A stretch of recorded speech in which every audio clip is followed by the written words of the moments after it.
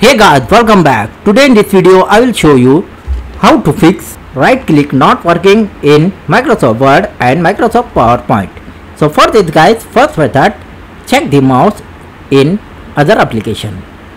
The second method, start the Word or PowerPoint in save mode.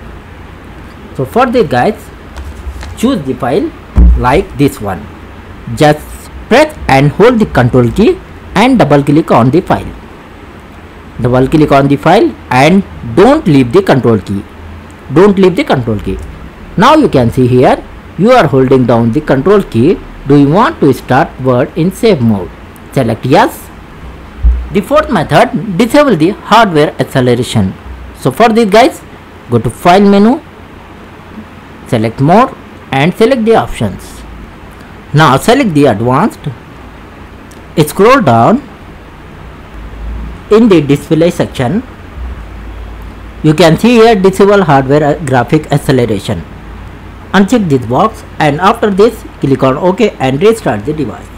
The fifth method repair the microsoft office. So for this guys open the windows settings.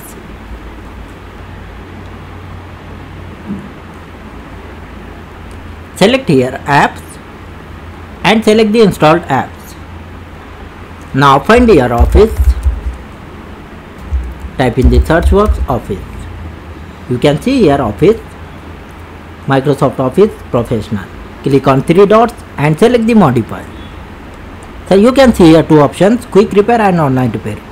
Select the option and after this click on repair and complete the process. Then restart the device. So hope you like this video. Please like share and subscribe